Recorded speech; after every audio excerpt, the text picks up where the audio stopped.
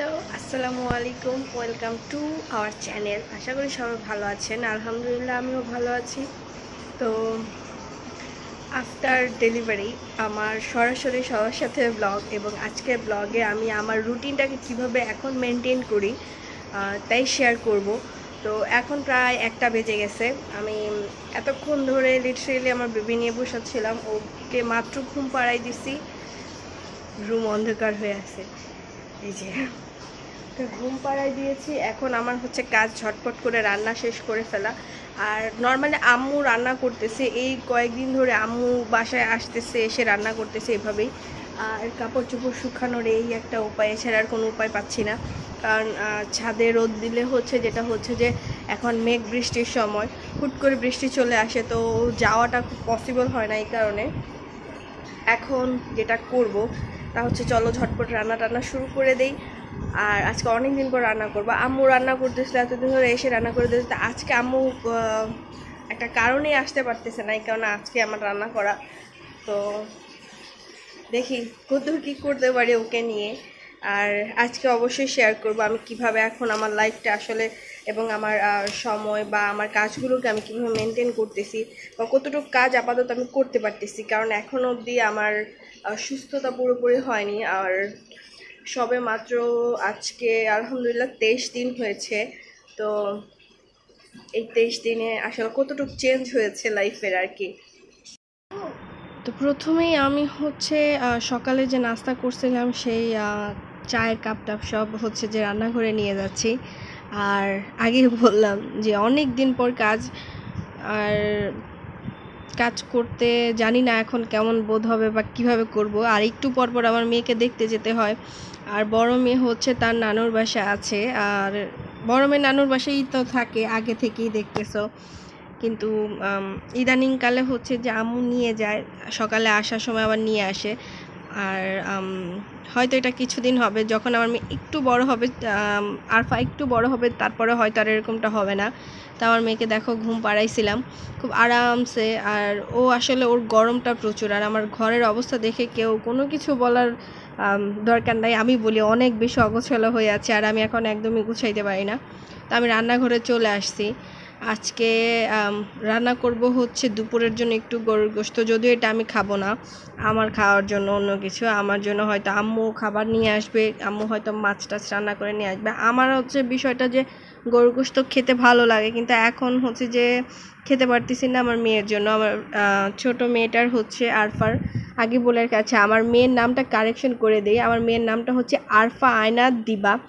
আর নামটা নিয়ে একটু কনফিউশন হওয়ার কারণ হচ্ছে যে আরফা আর আফরার মধ্যে আমার অনেক বেশি কনফিউশন লেগে গেছিল। আমি আকিকা দিয়েছিলাম আরফা আয়নাত দিবা নাম দিয়ে। কিন্তু সামহাও হচ্ছে যে মানুষের কিছু কনফিউশনের কারণে আমি নিজে অনেক বেশি কনফিউশন কনফিউজড হয়ে গেছিলাম। কারণ নামের অর্থ ছাড়া আসলে নাম রেখে কোনো লাভ নেই।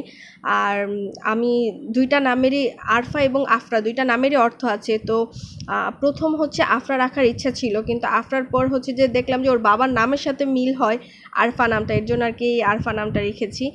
আর আমার মেয়ের নাম চাইলে যে যেটা ডাকতে পারো, যার যেটা খুব ভালো লাগবে সে অবশ্যই ডাকো। আয়নাত নামটার অর্থ এখন অবধি আমি খুঁজে পাইনি, কারণ আয়নাত নামটা আমার মানে মেয়ে লাবিবা রেখেছে, ও হচ্ছে ওর বোনের নামটা রেখেছে, তো এখন অবধি নামের অর্থটা জানতে পারিনি। আর এটা না রাখলে আসলে ও অনেক কষ্ট পাবে এই কারণে রাখা। আর দিবা নামটা হচ্ছে যে, আমরা সবাই জানি দিবা অর্থ কী, তো খুব সুন্দর নাম রেখেছি, আলহামদুলিল্লাহ, ভালো হয়েছে আর নাম নিয়ে কনফিউশন ছিলাম বলে আসলে এতদিন ধরে নামটা বলতে গেলে অনেক বেশি আটকে যেতাম এই কারণে বলতাম না। তো আলহামদুলিল্লাহ এখন তো বলতে পারতেছি, এখন তো সব কিছু ক্লিয়ার হয়ে গেছে। তো যাই হোক, এখন আমি হচ্ছে গরুগোস্তটা বসাই দিচ্ছি। আর সবাই বলা, আমি কি আগের থেকে মোটা হয়ে গেছি না শুকিয়েছি? আসলে এখন বলা যায় না যে কতটুকু কী হয়েছে। আফটার ডেলিভারির পর আমার কাছে মনে হলো আমি অনেকটা শুকাই গেছি। সবাই বলে আমার চাপা টাপা সব নাকি আগে ভেঙে গেছে অনেক বেশি।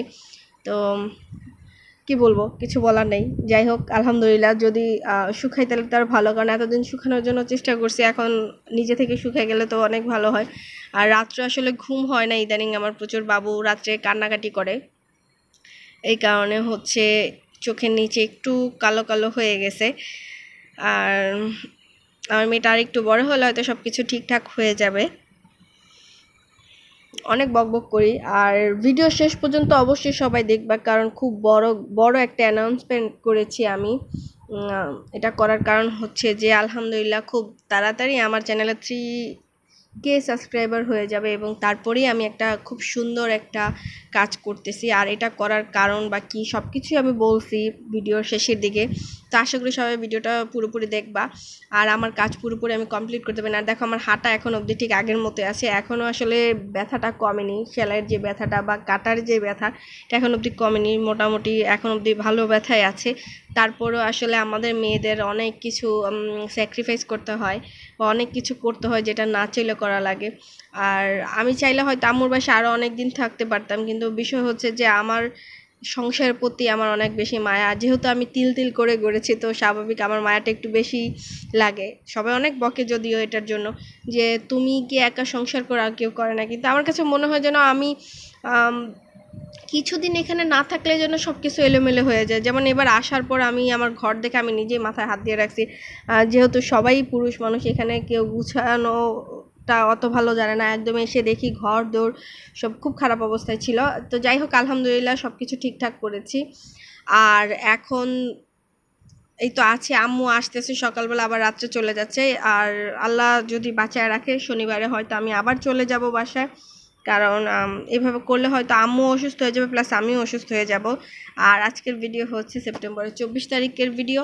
আগে বলে রাখি, অনেকে ভাবতে পারে যে কবের ভিডিও দিচ্ছি, কি আসে বিষয়।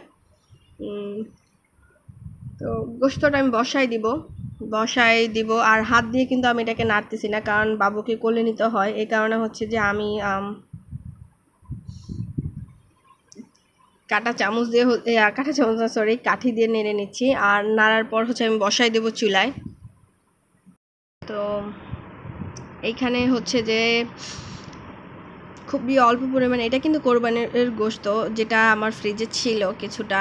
আর বাবুর আকিকার পরের দিনে আমি হচ্ছে বাসায় মহরমের দিন হচ্ছে খিচুড়ি রান্না করেছিলাম এবং কিছু গরিব মিসকিন খাওয়াইছি। প্লাস হচ্ছে যে নিজেরাও খাইছি। আর অনেক দিন ধরে আমার খিচুড়ি খেতে ইচ্ছে করতেছিল। তো সব মিলায় ওখানেও কুরবানির কিছুটা গোস্ত দিয়ে দিচ্ছি। এটা হচ্ছে সন্ধ্যাবেলার ভিডিও সন্ধ্যার সময়। এখন তো প্রায় সাড়ে আটটার উপরে বাজে। তো এটা হচ্ছে সাতটা, সাড়ে সাতটার দিকের। আমি, আমার মেয়ে, দুই মেয়ে মিলে হচ্ছে এখানে শুয়ে আছে, দুষ্টমি করতেছে। আর এই তো ছোটো মেয়ে ঘুমাচ্ছে আর বড় মেয়ে হচ্ছে আমার ছোট মেয়ের জিনিসপত্র দিয়ে খেলতেছে। তো উনি এগুলো করে, আসলে ওকে এখন কিছু বলতে গেলে ওর মন খারাপ হয়। ভাবে আমি এখন হয়তো ওকে আদর করি নাই, কারণ ওকে খুব কম বকাবকি বা ওকে সব বিষয় খুব কম বলার চেষ্টা করি। আর আবার ঘুম আসতেছে, কারণ আমি রাত্রে ঘুমাতে পারি না, আগে বলি। তো দেখাই আমি সন্ধ্যার জন্য কি রান্না করছি। রান্না আমি করিনি, যদিও এটা আম্মু রান্না করে দিয়ে গেছে। আম্মু চলে গেছে, বিকালে আসছিল আম্মু। এই তো বট রান্না করছে, এটা সবার জন্য আসলে আমার আর কি, আমি তো তারপরে খেতে হবে, কিছু করার নাই। এখন আবার এক্সট্রা করে রান্না করতে গেলে খুবই অসুবিধা হবে। আর আমি এখন পারব না রান্নাও করতে, তাই আর কি, এভাবেই যেটা যেভাবে আছে ওইভাবেই হবে। আর আমার রান্নাঘরটার এখনকার পরিস্থিতি অবশ্যই দেখায়। অবস্থা খুব বেশি ভালো বলা যাবে না।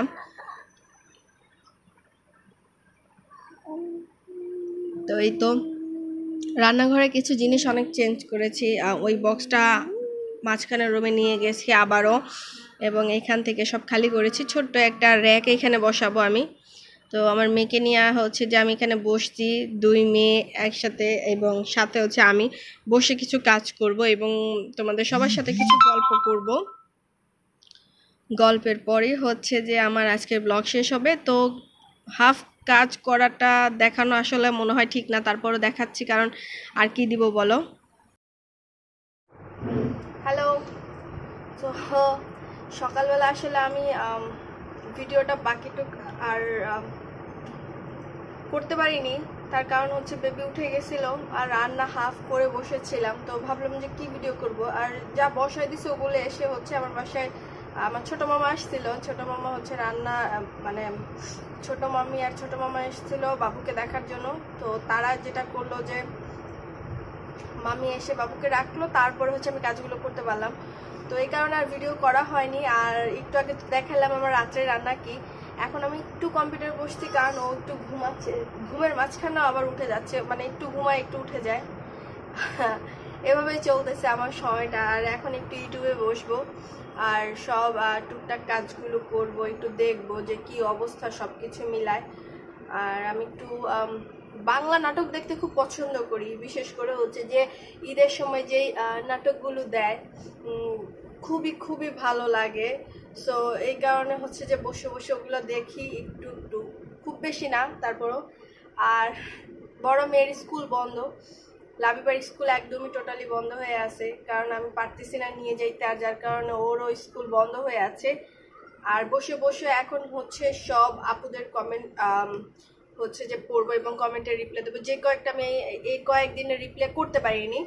অ্যান্ড এরকম একটা খাতা নিয়েছি না প্যাড নিয়েছি, খাতা বলা যাবে না।